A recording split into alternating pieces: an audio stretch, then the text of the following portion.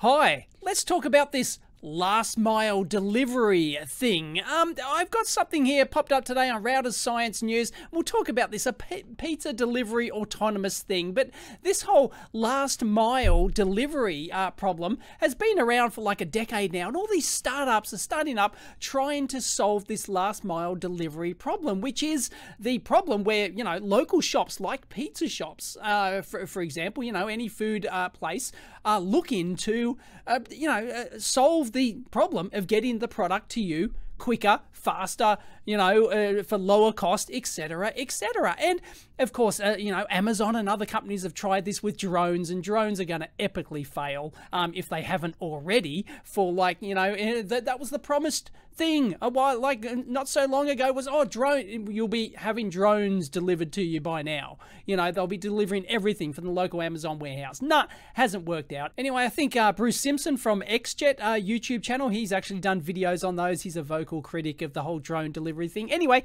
that's you know, so let's just assume the drone delivery thing has failed. Um, and then you've got all these autonomous robot things. How many companies can? Does anyone know? Is there a list of companies, a startup companies that have produced these delivery, you know, autonomous robots? that, you know, go drive little electric autonomous robots go driving through the streets with your, um, with your food delivery or your this one in particular, right? This is uh, in uh, Brooklyn Pizza, I guess. Is that is that the company? I don't know. Anyway, um, uh, so this is a Magna a company called Magna has developed an electric autonomous pizza delivery robot aiming to reduce last mile delivery costs and carbon emissions, carbon emissions in cities. Anyway, there's tons of other solutions, including the most hilarious one. I almost did a video on this because I got into a sort of like a Twitter discussion with the CEO of uh, Pipedream Labs. This was some time ago. I'll, I'll link it in. You know, I'll try and link it in if I can. Anyway, yes, it literally is a pipe dream, okay? he's so passionate though about that he's solved, cracked this last mile delivery problem. They'll have these 12 inch PVC pipes everywhere, and then you'll have these little boxes over here, which will just, you know, people just, you know, your local pizza shop will have one of these things. They shove the your pizza, well, not pizza, you know, it's probably too big for your 12 inch pipe, but you know, the Amazon warehouse will shove things into these pipes and they'll go whizzing through, whizzing through the pipes, and then you can collect it at the other end here. And they oh, they've got back in money for it, and it's just gonna it's gonna be an epic fail. And here it is. There'll be a, like a, a motor drive pod and a cargo pod and things like this, and it goes through PVC pipes. So they'll do you know a cut and cover type thing on the streets um, to install these uh, 12 inch PVC pipes going everywhere. It's, I, no, no, it's just going to epically, epically fail. But anyway, he's so passionate about it. He even offered to come on the, you know, interview on the EEVblog and stuff. Anyway, I, no, I don't think I'm going to waste my time on that. But anyway,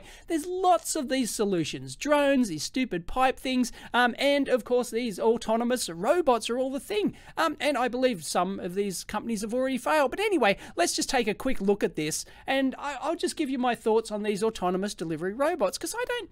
I don't see how they're going to work. Really, I don't see how they're going to be good. Look, he's putting his pizza in. This all electric pizza delivery robot is hitting the roads. I assume it's got like a heater in there as well. And it want to because it's going so bloody slow. Look at it, right? which is one of the problems. Anyway, I don't know about Magna, I haven't looked it up, to reduce the last mile delivery costs and carbon emissions in urban areas. Woo! Um, here he goes. Oh, wow, look, it's going so quickly. 20 miles an hour. Wow, 32 k's an hour. Oh, screaming along.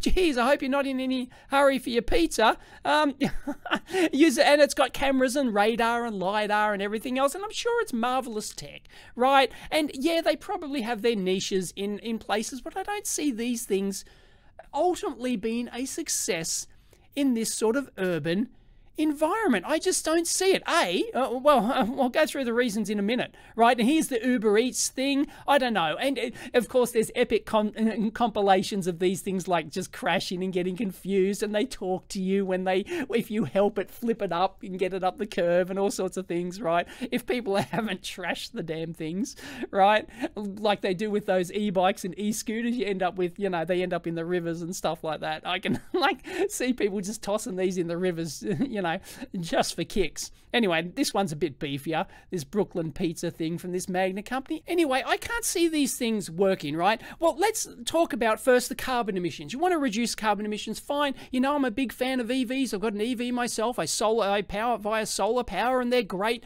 for getting rid of, you know, uh, not just CO2 emissions, right? But just like cleaner air in the cities and stuff like that. Fantastic, right? So they are, yeah, okay, fine they're better than um, you know scooters and stuff and uh, well cars you know if you get your regular pizza delivery it might come by car might come by scooter. Scooters are quite uh, popular here. I see them you know in my local neighborhood they'll have these deliveroo um, scootery things. Here's a company that actually um, here's a local australian place that actually services all these pizza delivery scooters right? You know domino's have their i don't know if i don't know how the scheme works. If you're a domino's delivery driver do they like own the do domino's own the scooter, or do you have to buy it and then they just slap their branding pod on the back? I don't know um, how any of this works. But anyway, if you want to reduce emissions, okay, well, um, let's just buy a pizza delivery e bike. Um, here it is 1500 watt pizza delivery e bike. Seriously, okay, what what is the embodied energy to produce one of these things? Okay, it's a you know it's got the same. It does it have? Oh, okay, it might use a bit less battery because there's less weight in it. Perhaps doesn't have the human on it, so okay, it might use a bit less battery than an e uh, scooter, an electric scooter, uh, for example. What, but what's the embodied energy that goes into manufacturing one of these? I can't see it being actually lower than uh, you know, a mass-produced electric scooter which has other uses, um, for example. And then you've got the radar and the LiDAR and the computers and the electronics and the cameras and everything and all the tech that goes into building this thing. I can't see how the embodied energy of building one of these is less than uh, just like a, a scooter like this, which you can sell for regular market just for transport, right? And you can use it for regular uh, transport, right? So I don't no. So, so you're not saving the environment. So don't give me any bullshit about, oh, you're reducing CO carbon emissions in the cities. Uh, whoop-de freaking do. No. No, I think that, no. I think that is a red herring. Okay. And uh, reduce last mile delivery costs. Okay. So these autonomous things, they get rid of the uh, pizza driver, right? But what, what happens to all these jobs, right? What happens to all these pizza delivery e-scooter jobs? Right? What happens to all those? You're getting rid of them. Okay, so that's another thing. And then it's slower. Why would you want a slower delivery pizza? Okay, maybe if it costs you less to get it delivered, but okay, ultimately the price of pizza might come down with the cost of inflation, everything's going up, you won't even notice it anyway. But, you know, technically, okay, you know, it might come down if they don't have to hire somebody to actually deliver the pizza. Cost might come down. But this thing's slower, okay? Like 20 mile an hour tops, 32k an hour tops. No, little pizza delivery scooter dude eh, flying around. Right, they'll get there in no time. No worries. Okay, put your horror story about your pizza wasn't delivered or at all or on time. Right. And then the second one is um reliability. Okay, you see these things breaking, you know, as I said, there's compilation videos of these things breaking down and doing stupid things not being able to navigate, and especially when things change and there's other obstacles and stuff like that, right? Uh, the odds of your pizza not getting there are much, much greater, probably an order of magnitude greater, surely, with one of these autonomous things, no matter how good they, you know, are, the tech in them are, which I'm sure is, you know, marvelous tech, right? Hats off to the people who develop these things, fantastic, but I, I can't can't see, like, it's got to be an order of magnitude less reliable than a pizza delivery dude, surely. So it's slower, it's less reliable and it's less flexible, right? Can this thing come up to your door, knock on your door, and press your doorbell and alert you that you're there? When you order pizza, you want the convenience of somebody passing it through, like opening the door. Here it is. You know, you're sitting there in your pajamas or whatever, and you don't you don't want to go out onto the curb to. And then how do you get your pizza out of this thing? I presume you can't. Anyone just can't open it. Maybe you've got to have a stupid appy thing on your phone, and you've got to connect, and you've got to like, uh, please, I'm very verify who you are and I'm like, you know, or does it open automatically when it gets to your destination? I don't know. And it, I, like, it sends you a message and if you don't get it, no, no, no, no. It's just not as flexible right? Especially if you've got an apartment, you live in an apartment, for example, you don't want to have to come down the, you know, the lift or whatever, or the stairs and to go to your, you know, think, no, right? And go out on the sidewalk in the freezing rain in the middle of the night just to get your pizza from your stupid delivery robot. No, you want somebody to bring it to you. So that's another strike against them right there. So the way I see it, it's not really solving any carbon emission uh, type thing. You can just do that with e-scooters. It's uh, slower. It's going to be a lot slower. It's going to be a lot less reliable, probably an order of magnitude less reliable, and it's less flexible. Well, that's four major things against this. The only thing, it, it might you might get a slightly cheaper pizza, perhaps, because you're not paying someone to deliver it. But no, no, no, no, no. I please, am I wrong on this? Am I completely wrong? Have you used one of these things? You know, I don't live in the big city, right? So I'm never going to see one of these things, right? They're, they're not going to be trundling through the suburbs to my house anytime soon, let me tell you. So yeah, please leave it in the comments down below. Uh, like, have you had, are you sure? You know, it's probably novel and cool and everything. Am I completely wrong? Do these things work?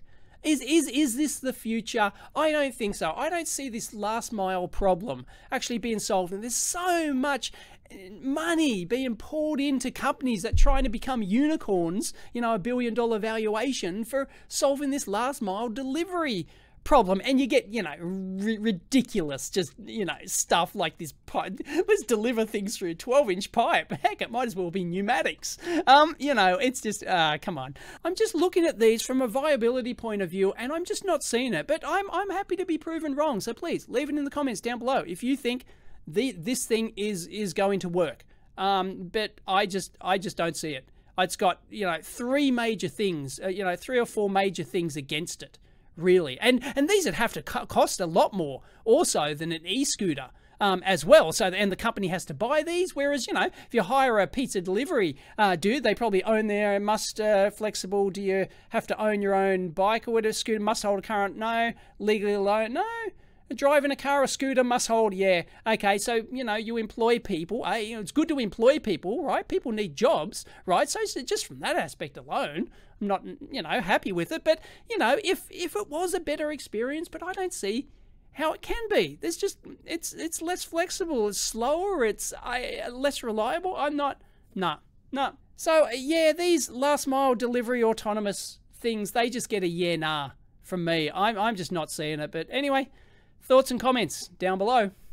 Catch you next time.